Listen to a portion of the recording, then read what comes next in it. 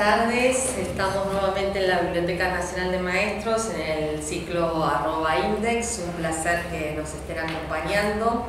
El ciclo arroba index tiene por objetivo recuperar el fondo antiguo que tiene la biblioteca y ponerlo en valor. Eh, siempre nos acompaña algún especialista o si no un idóneo que tenga esa especialidad o esa manía, por llamarlo de alguna forma, de acercarse al texto desde otros lugares. En el caso de hoy para mí es un placer presentar a la doctora Paula Bruno, doctora en Historia por la Facultad de Filosofía y Letras de la Universidad de Buenos Aires, eh, quien tiene una maestría de la Universidad de San Andrés, eh, actualmente es investigadora del CONICET y es una de las eh, especialistas en historia cultural argentina y latinoamericana como también de historiografía e historia del pensamiento argentino y americano en nuestro país. Eh, Paula Bruno actualmente también está coordinando la carrera de Historia en la Universidad de Itela y es una de las especialistas en este momento que trabajan el periodo del fin de siglo y de todos los intelectuales del fin de siglo o de entre siglos, mejor dicho, con una delicadeza y una profundidad muy especial. Así que para mí es un placer que ella hoy nos esté acompañando y que esté poniendo en valor los fondos de la Biblioteca Nacional de Maestros. Paula, te escuchamos. Eh, muchas gracias Mariana, eh, muchas gracias por la invitación eh, a este ciclo que empezó este año, ¿no? Sí. bueno, ya había participado en otras actividades de la Biblioteca Nacional de Maestros, siempre me siento muy a gusto, me parece como un espacio este, muy lindo para venir y conversar este, con interesados en, estos temas. Bueno, em, les comento que la charla que preparé para hoy, y subrayo lo de charla porque traje como un par de ideas abiertas para poner un poco en juego a ver si funcionan, em, se titula El Centenario 1910 y sus dimensiones culturales, sociabilidades, visitas y eventos. En líneas generales, eh, la propuesta de esta charla sería pensar cómo a partir de un evento, como es el festejo del, centenario de 1910, se pueden pensar distintos procesos que nos llevan como a distintas dimensiones de la vida cultural. En general, cuando se habla del centenario, y más nosotros que tuvimos la suerte de vivir el bicentenario, o sea, como que tenemos alguna referencialidad respecto de qué significa ese tipo de celebración, ese tipo de celebración patria, lo que predomina, y ustedes recordarán que en el bicentenario fue así, fue todo el análisis, también sucede con el centenario, de cuáles fueron como las decisiones estatales que se tomaron para celebrar esa gran fiesta patria. Y es digamos, bastante digamos, regular que así sea, bastante usual que así sea, porque claramente si uno dice es un país que está celebrando sus 100 primeros años de vida independiente, en el caso de 1910, es obvio que va a haber todo un esfuerzo del Estado para ver de qué se trata ese país. Digamos, a los 100 años que cumple ese país, es su cumpleaños número 100, hay muchas reflexiones para hacer. Entonces, en general, cuando se piensa en el centenario, por lo menos lo que más nos viene en mente y quizás también lo que nos encontramos, justo estamos en, una casa para pensar eso, en los libros escolares, los festejos del centenario, las celebraciones del centenario, se suele eh, poner mucho énfasis en, bueno, qué hizo el Estado, cómo se celebró, cómo cambió la ciudad en el momento del centenario y temas afines. Entonces, como eso llamó por muchísimo tiempo la atención, y actualmente yo me encuentro como explorando otras líneas vinculadas al centenario que permiten quizás descentrar eh, la importancia de lo que las decisiones estatales o las políticas públicas vinculadas, políticas públicas es un concepto que no va mucho para la época, pero quiero decir políticas estatales que se tomaron para estos festejos y tratar de pensarlo, digamos, de una manera más panorámica. Entonces la propuesta apunta un poco eso, a no mirar solo qué sucede desde arriba con las decisiones estatales, sino también a pensar algunos aspectos que nos permiten ver un poco más, si se quiere, cómo la sociedad civil se apropió del centenario, cómo la vida cultural y los eventos de la vida cultural acompañaron ese centenario, etcétera, etcétera. Em, los centenarios, o sea, hay mucha bibliografía sobre los centenarios en América Latina, digamos, un tema que en los últimos años se ha estudiado bastante, los centenarios que se produjeron en distintas naciones latinoamericanas entre 1910 y 1924 han justamente con el clima del bicentenario tenido una renovación muy fuerte. En general eh, son estudiados como momentos muy densos para todo lo que tiene que ver con la construcción de la identidad nacional. Es decir, como les señalaba al principio, justamente como los países de América Latina están cumpliendo 100 años, eh, había llegado un poco el momento de evaluar los 100 años de historia y para los centenarios un poco se empezaron a generar mitos de orígenes que empezaron a organizar los relatos sobre la historia de las naciones latinoamericanas. Es decir, que los centenarios en sí son generalmente pensados como momentos donde las identidades nacionales, lo que se llama la invención de la nación, los mitos nacionales, la organización de los relatos sobre los orígenes, tuvieron mucho peso. Si solo nos detenemos a mirar eso, pensamos a los centenarios como eventos que tienen mucho impacto hacia adentro de las naciones. Es decir, como el centenario funciona como un disparador, como les señalo, para generar ciertas cuestiones vinculadas con la identidad nacional. Y eso, por supuesto, es una opción para hacer estos estudios. De hecho, se estudia mucho todo el peso de las construcciones identitarias patrias para el momento del centenario, como, acá estamos en un lugar que ha contribuido mucho a eso, como desde el sistema educativo, desde los distintos niveles de educación, etc. Para el centenario se produjeron determinadas reformas en estos sistemas que organizaron la forma de estudiar. Eh, se estudian las festividades cívicas, por ejemplo, que los distintos cuerpos militares em, empezaron a ritualizar hacia el centenario, es decir, muchos temas vinculados con la identidad nacional, el patriotismo, el nacionalismo, las celebraciones patrias funcionan como una posibilidad para pensar eso. Lo que está menos estudiado, y es una de las cosas que les quería proponer como una idea posible, es eh, una forma de pensar a los centenarios que los vincule con otro tipo de eventos que son eventos similares. Por ejemplo, eh, se podría comparar a los centenarios, aunque con coordenadas muy distintas, tienen algunos rasgos similares, ahora vamos a ver por qué, con las grandes exposiciones universales, que no sé si tienen alguna referencia sobre eso, pero básicamente las exposiciones universales se empezaron a hacer desde 1851, el primer lugar donde se hicieron fueron en Londres, y eran eventos, digamos, que como su nombre lo indica, tenía como pretensiones hacer pequeñas maquetas del mundo. Decir, distintas naciones llevaban como stands, ubican la Feria de las Naciones, todavía creo que sigue existiendo. Bueno, el origen de esa forma de representar las naciones surge con las exposiciones universales.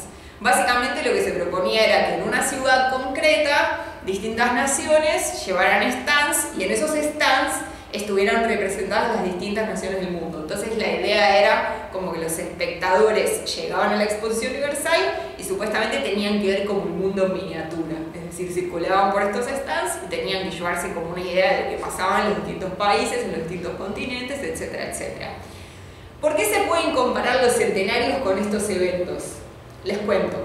Cuando las exposiciones universales empezaron a eh, tener mucho éxito, digamos, estamos hablando como de grandes espectáculos, la gente hacía colas para entrar, para conseguir los abonos, para poder circular por esas, por esas exposiciones, las ciudades donde las exposiciones se hacían empezaron a darse cuenta con el correr de las décadas que se podían organizar otros eventos en esas ciudades en torno a las exposiciones universales. ¿Por qué? Porque justamente la ciudad donde se hacía ese evento funcionaba como un polo de atracción para personas de distintos lugares con distintos intereses, también por ejemplo para inversores que querían darse una idea de cómo eran otros países y convenía invertir en esos países, etc. Entonces, el espacio, la ciudad elegida para hacer las distintas exposiciones universales, empezó a tener un efecto multiplicador en la vida social y cultural. Entonces, por ejemplo, se empezaron a organizar exposiciones de arte en paralelo a las exposiciones universales, congresos científicos en paralelo a las exposiciones universales, porque justamente era una excusa perfecta para que ya que se iban a nuclear personas de distintos lugares del mundo, pudieran funcionar eventos, digamos, afines como Lula Palusa del siglo XIX, digamos, ¿no? Que está como el evento grande y hay como eventos asociados, ¿no? Eventos paralelos a ese evento. ¿Por qué digo que los centenarios son comparables con estas lógicas? Son comparables porque justamente las naciones latinoamericanas, como decía al principio, hicieron esfuerzos muy serios eh, para que los centenarios fueran un evento para mostrarse frente al mundo. Es decir, en los centenarios se quería mostrar al mundo qué era la Argentina en 1910, es decir, qué, qué imagen de nación se quería transmitir en ese momento. Entonces, para los centenarios se invertía muchísimo dinero público, se convocaba un montón, ahora vamos a ver algunos ejemplos de eso, de visitantes extranjeros para que, para que oficiaran de visitantes en, los eventos del centenario, se convocaba a músicos, para orquestas, a óperas, para que vengan a representar a los teatros de Buenos Aires durante los festejos del centenario y tener una vida cultural bien activa en la ciudad. Es decir, eh, eh, de la misma forma, quizás con otras dimensiones que las exposiciones universales, las celebraciones centenarias disparaban toda una cantidad de eventos afines asociados a ese centenario. Entonces, si nosotros pensamos así, empezamos como a, o ponemos el foco de interés en todos estos otros aspectos que se abren a partir de la celebración, empezamos como a correr un poquito el lente de observación y podemos ver no solamente lo que los centenarios generan hacia adentro, todo lo que dije antes, la identidad nacional, los cambios en la educación, ciertos eh, rituales del patriotismo que se establecen, sino que también podemos pensar en qué significan los centenarios hacia el afuera, es decir, para decirlo más concretamente. Hay una dinámica interna del centenario, todo lo que genera hacia la nación. Y también hay unas dinámicas que son más externas, que se dice de la nación hacia afuera, como la gente que se acerca por otros motivos ve esta nación, qué representaciones o, qué ideas van a poner en juego las personas que concurran a cualquiera de estas cosas que les digo, un músico que pasa por Buenos Aires, un conferencista que pasa por Buenos Aires, una cantante lírica que es invitada para una gala, etc. Entonces, ahí lo que yo les quería proponer es como que existe la posibilidad de que el centenario sea pensado como en dos niveles, en el impacto que tiene hacia adentro en Argentina, que ahora vamos a ver algunas cositas, y también como un disparador, como un escenario de disparador para pensar las articulaciones de Argentina en el mundo más en general. Este sería un primer planteo. En lo que tiene que ver con las dinámicas más internas, como les señalé, el centenario presenta muchísimos desafíos para las élites intelectuales y para las élites políticas, porque es para el momento del centenario donde cristaliza, por decirlo de alguna manera, una Argentina que hacía mucho tiempo que venía haciendo un proyecto, pero que para el centenario era una realidad. ¿no? Si nosotros pensamos en toda la historia del siglo XIX argentino, seguramente se acordarán de algo, los eh, revolucionarios de 1810 tenían una idea de qué significaba romper los lazos coloniales, cómo tenía que ser de ahí en adelante la historia de este nuevo territorio, la generación de 1837, eh, la generación del 37, que son intelectuales, no sé si recuerdan, Echeverría, Sarmiento, Alberti, Mitre, tenían una idea, un proyecto para la nación, cómo tenía que ser la nación, cómo se tenía que organizar, es decir, cómo se tenía que, entre comillas, civilizar, tenían como ideas en las cuales, por ejemplo, el elemento de la inmigración era un elemento central para pensar cómo tenía que ser ese país, donde todo estaba por hacerse, es decir, tuvimos varias, por lo menos dos o tres generaciones intelectuales, políticas, que pensaban a la Argentina como un proyecto, cómo debería ser. Por ejemplo, estos intelectuales de la generación del 37, no sé si recuerdan, eh, fueron los que habían ido al exilio en tiempos de Rosas, es decir, eran opositores a Rosas entonces Juan Manuel de Rosas. Entonces, desde el exilio pensaban, bueno, ¿cómo tiene que ser la Argentina cuando termine la experiencia rosista? Entonces, la Argentina por muchas décadas fue un proyecto que funcionaba como en las cabezas de algunas personas. Este es el punto. Pero parados en 1910, ese proyecto ya no es solo idea, se concreta. Una cosa es pensar, sería genial que vengan inmigrantes porque mucho territorio y tiene que ser poblado. Otra cosa es ver el fenómeno de la inmigración como un efecto concreto que implica que los inmigrantes hayan llegado. Entonces 1910 es un momento, como les digo, donde la Argentina ya no es un proyecto, es más bien una realidad y donde los intelectuales tienen como que, y los políticos tienen un montón de desafíos para pensar en esa nación. Sería un primer punto. Entonces, el centenario como momento de evaluación de qué es la Argentina. A 100 años de la Revolución de 1810, ¿cómo se piensa esa Argentina? algunos balances son súper positivos, es decir, hay muchos balances de intelectuales y políticos argentinos que solo ven, era una palabra muy de la época, progreso y modernidad. Es decir, se paran en el centenario y esa es la observación que tienen. De un país que muchas generaciones consideraban falazmente un desierto, digamos, una imagen complicada, era un desierto, no había desierto en algunos lugares, pero bueno, ya saben a qué me refiero. De repente se paran en 1910 y ven un país poblado, activo, con una economía muy positiva. Sin embargo, otros, otras miradas tenían lecturas menos optimistas de qué era el país en 1910. Les doy algunos datos para no aburrir. 1909 fue un año donde creo que hubo más de 100 huelgas a lo largo del año. Es decir, había en las calles huelgas, muchas de ellas motorizadas por anarquistas. Los anarquistas eran vistos por las élites políticas como una fuerza peligrosa. Entonces, digamos, esas huelgas estaban mostrando que algo de tensión social había. Las élites políticas tenían ahí un, un foco potencial de preocupación, que era que con la inmigración habían llegado también las ideas de izquierda, estaba el anarquismo en la calle, el socialismo ya no estaba tanto en la calle, ya estaba metiéndose más en el sistema político formal, pero ahí había un foco de atención preocupante.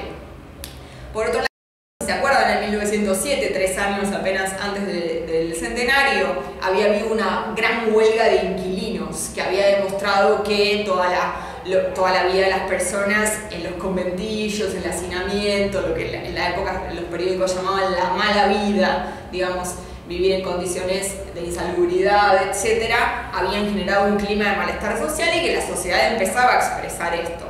Y también, esa era una preocupación, había otra que se llama cuestión social, esas preocupaciones vinculadas con la vivienda, la salubridad, la higiene.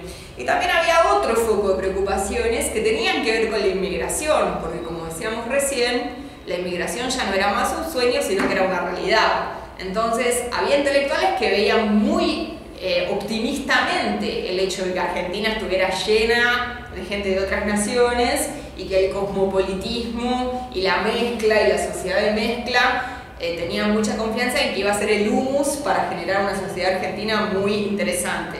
Y otros intelectuales empezaron a ver con preocupación la presencia de inmigrantes que por ahí se resistían, por ejemplo, a hablar español o se resistían a enviar a sus hijos a escuelas, eh, digamos, eh, argentinas y los seguían mandando a escuelas de las comunidades étnicas o tenían más resistencia a la hora de involucrarse en los asuntos de la política municipal, por ejemplo, o sea, había gente que veía el fenómeno como súper, digamos, eh, muy efervescente, como que de ahí podían salir muchísimas cosas buenas. Y había otras personas que ante el fenómeno inmigratorio y la sociedad cosmopolita ponían más resistencias. El centenario pone fuertemente esos diagnósticos en juego. Entonces, hay bastantes quiebres en las élites entre personas más alarmadas y personas más complacientes respecto de esa Argentina que era una realidad.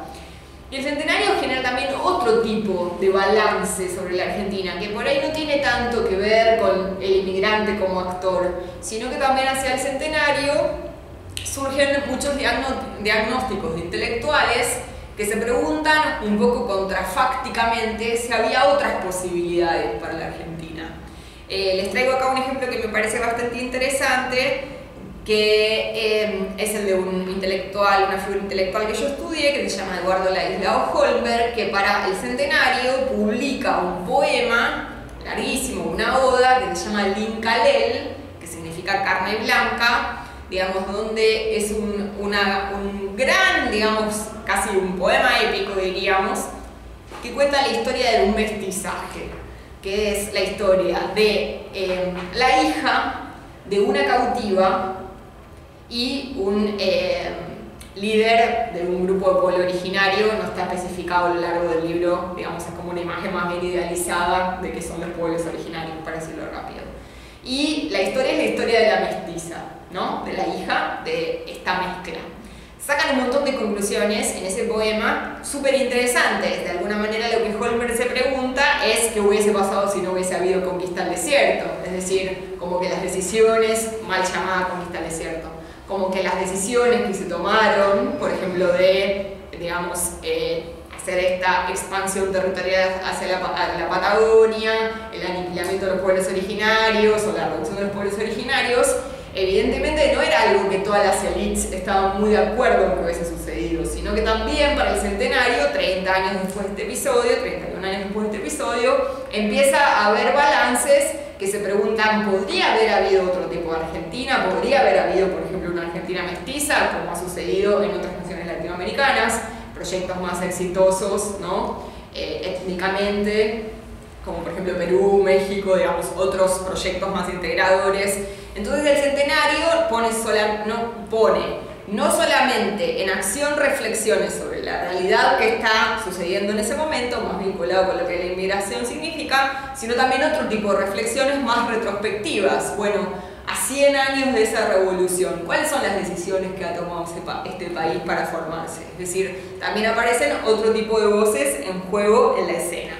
Entonces, esto es un poco el frente interno, digamos, o sea, cuáles son las posibilidades que genera este centenario a la hora de generar estas distintas opiniones. Eh, hay otras cosas que suceden en el centenario, para, para decirles algunas cosas más, un poco más, este, si se quiere, que parecen anécdotas, pero que no lo son.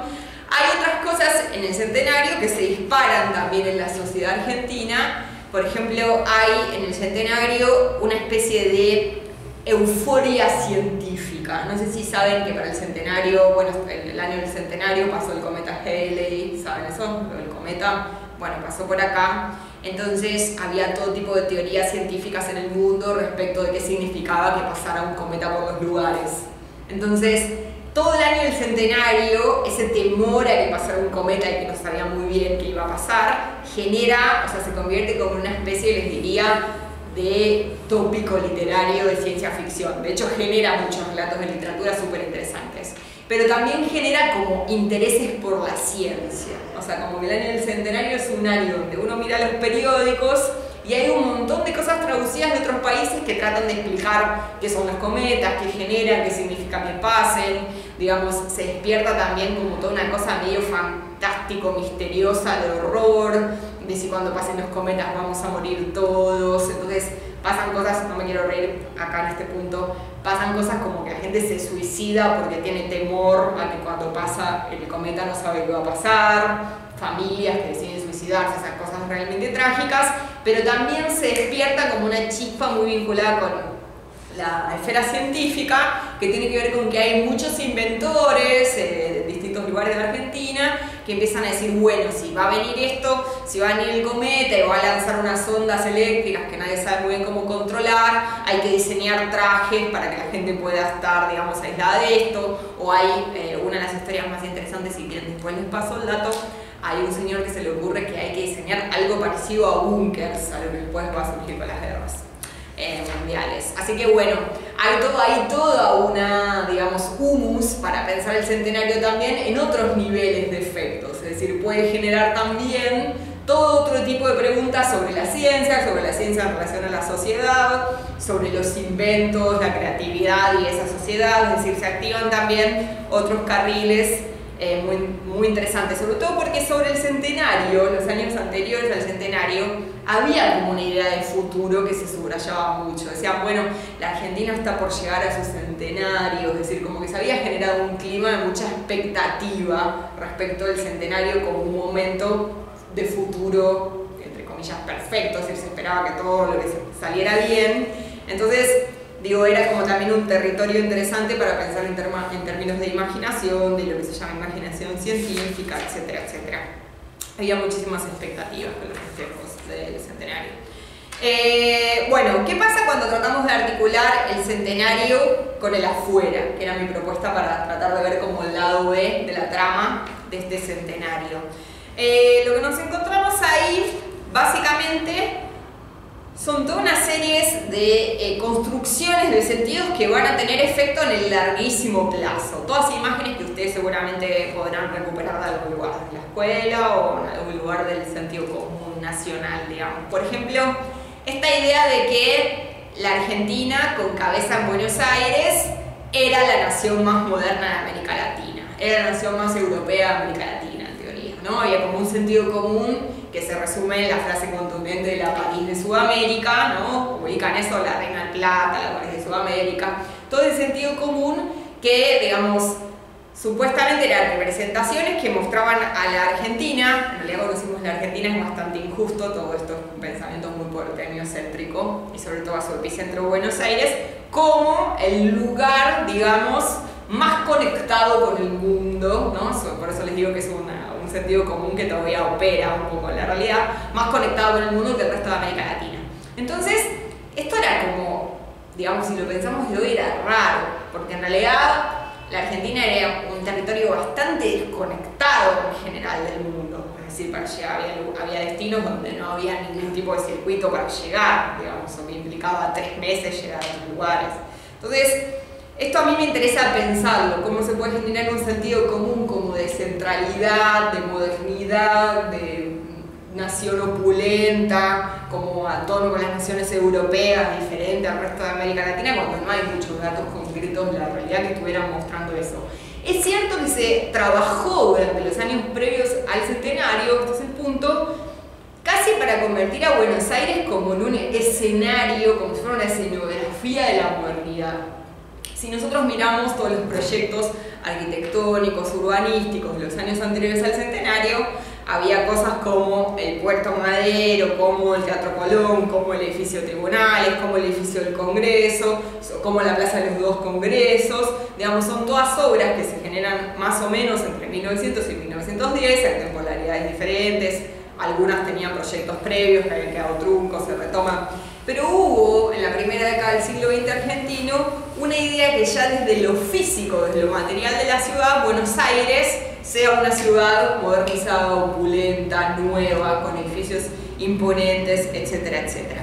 Entonces, esto a mí me interesa pensarlo en este sentido, como que se fue generando un escenario para que cuando llegaban los actores de afuera, nuestros invitados, las visitas, todo, se generara como una idea de, ah, ok, sí, es la París de Sudamérica. Decir, como que es muy interesante ver cómo ahora sí decisiones estatales, eh, la impronta de ciertos arquitectos, de ciertos urbanistas, eh, funcionó para que eso no sea nada más una cosa metafórica, sino concretamente cuando los visitantes extranjeros llegaban a, Buenos Aires en 1910, no pasaba lo mismo cuando los hacían recorrer otras provincias, ahora si tengo tiempo les voy a contar un poquito eso, dijeran, ah, ok, esta ciudad es una ciudad diferente a otras de América Latina que, que habían existido.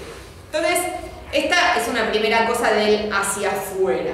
Esta Buenos Aires que se construye, claro que, que supuestamente embellece la ciudad y que todos los habitantes de Buenos Aires se deberían sentir beneficiados, pero también es como que genera una escenografía hacia afuera. Esto es lo que somos, país moderno, nuevo, con grandes edificios, opulento, donde la economía va bien, entonces se está tratando de dar un mensaje fuerte de progreso y de modernidad.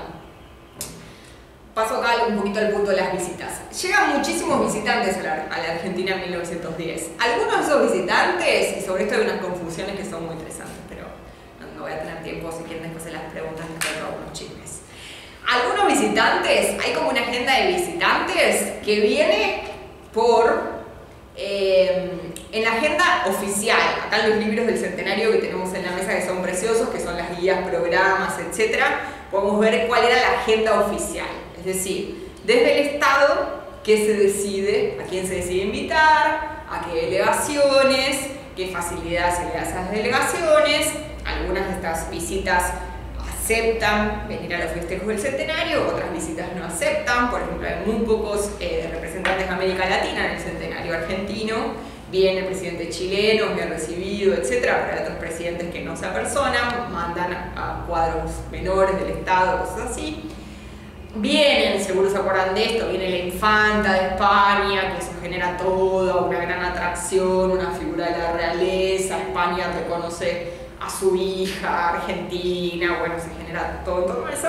Y también vienen otros visitantes que, eh, digamos, en esta agenda, como les digo, más de los festejos del centenario, son invitados por la clase política porque les parece que pueden ser buenos oradores para hablar de ciertos temas. Por ejemplo, si hay una novedad científica, invitan a un científico prusiano que, digamos, tiene la novedad para contar.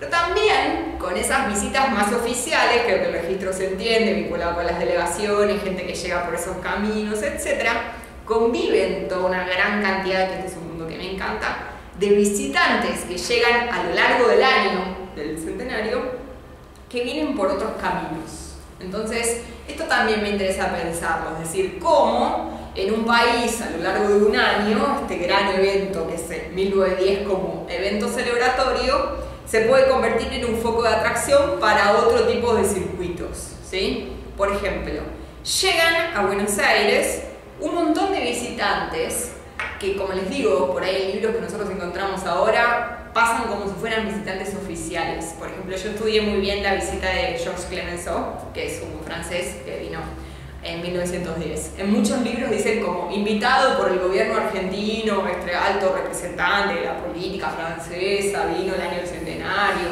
Él escribió un libro, que no me acuerdo Mariana si ese lo separamos, no, bueno, pero se puede encontrar acá, que es Notas de Viajes por Sudamérica, que se usa hoy muchísimo como una fuente para pensar el año del centenario, etc. Bueno, cuando uno se pone a indagar un poquito, en realidad Clemenceau no vino como un representante oficial, invitado, oficial de Francia invitado por el Estado argentino. Vino por otro circuito que nada que ver. Por ejemplo, hay muchos visitantes, esto es lo que me parece bastante interesante, que lejos de responder a em, intereses estatales, respondían a intereses privados. Por ejemplo, lo que yo fui descubriendo en varias investigaciones es que había unos empresarios privados que se encargaban de organizar tours para visitas de figuras de la política e intelectuales. Entonces, hay uno que es muy interesante que se llama Faustino da Rosa, por si alguien quiere meterse a investigar.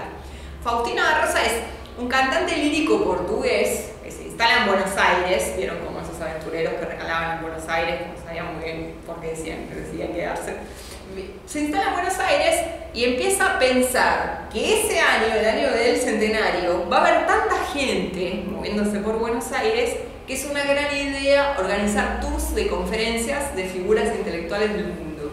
Entonces, como un emprendimiento totalmente privado con su dinero, le empieza a escribir a un montón de políticos, intelectuales, científicos del mundo, ofreciéndoles ser el organizador de su gira como que se da cuenta que ahí hay una beta.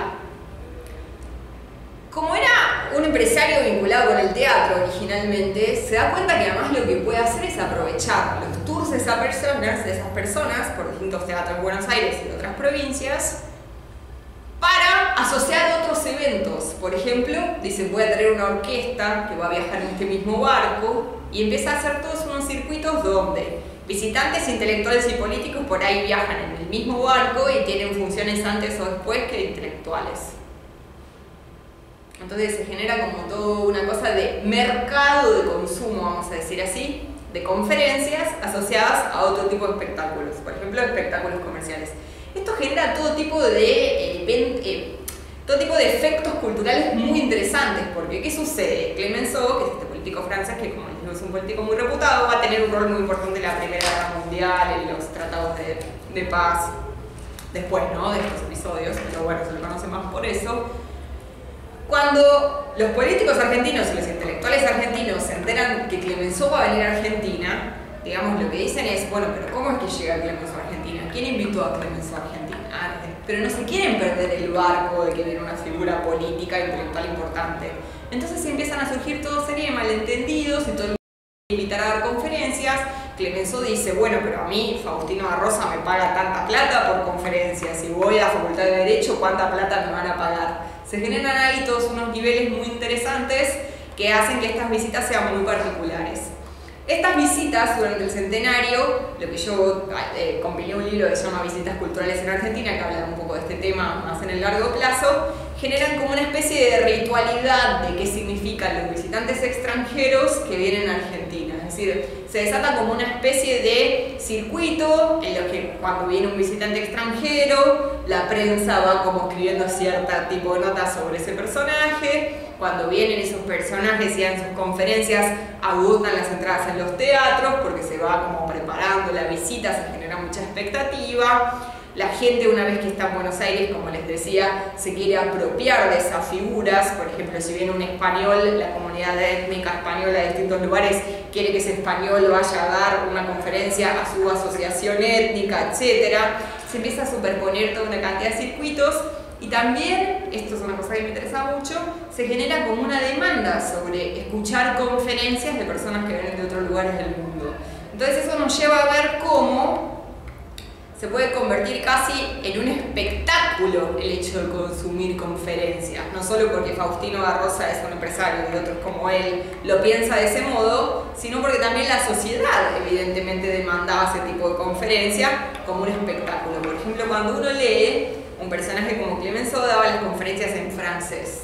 No existía la figura del traductor público simultáneo, o sea, no es que tenía alguien acá. Entonces, daba las conferencias en francés llenaba el Teatro Coliseo. Digamos, uno se imagina, toda la gente que estaba dentro del Teatro Coliseo entendía lo que el conferenciante estaba tratando de decir o lo que decía, o se enteraba el otro día porque algún periodista hacía como un resumen de la conferencia. Se generan ahí todas unas cantidades de informaciones interesantes para pensar en un público de consumos colectivos en Buenos Aires que evidentemente estaba dispuesto a hacer eso. El público es muy afectuoso con los conferencistas que vienen a Buenos Aires, con cualquier tipo de conferencista. A alguna gente le encanta, o sea, porque, hay visitantes que son llevados en andas desde los teatros hasta los hoteles, por ejemplo. O sea, como la gente lo celebra tanto, se pone tan contenta. Después hay toda una ritualización de todos los regalos típicos que les hacen los argentinos a los conferenciantes, es decir, por ejemplo en el caso de Clemenceau, él llama mi pequeño museo argentino a una vitrina que pide en el hotel, donde va poniendo todo lo que le van regalando. Entonces, como Clemenceau eso lo cuenta en un libro que escribe sobre Sudamérica, cuando se va de un tour por Sudamérica, este tour por Sudamérica, todos los visitantes que vienen después, por ejemplo, si no reciben regalos se sienten muy frustrados porque asumen que la cultura nacional implica que si esos regalos están, la persona es apreciada, si no están, no es apreciada. Es decir, con esto quiero decir que se va generando como toda una capilaridad vinculada con demandas de la sociedad sobre estos conferencistas, rituales culturales, estos productos son en general productos autóctonos, dulce de leche, cocadas, ponchos, mates, eh, todas cosas así, artesanales, bombillos, todas cosas vinculadas con algo bien autóctono, es decir, este evento, que es una visita cultural, que no tiene nada que ver con los intereses estatales sobre el centenario, nos puede mostrar también cómo los argentinos interactúan con estas visitas. Y cuando estos visitantes se van, muchos de estos visitantes, hay muchísimos, si les interesan después les digo más o menos quiénes son, pero está Blasco Ibáñez, está Posada, está Altamira, hay varios franceses, viene Jean Llorel, líder socialista francés, y tantos otros, vienen escritores, también figuras un poco más menores que no eran tan conocidas. Muchas de estas figuras, después de pasar por Buenos Aires en el año del centenario, escriben registros sobre lo que vieron en Buenos Aires. Y es ahí donde les digo que aparece como un poco el lado B de la trama, porque estas figuras cuando venían durante el año del centenario, en general no recorrían más Buenos Aires.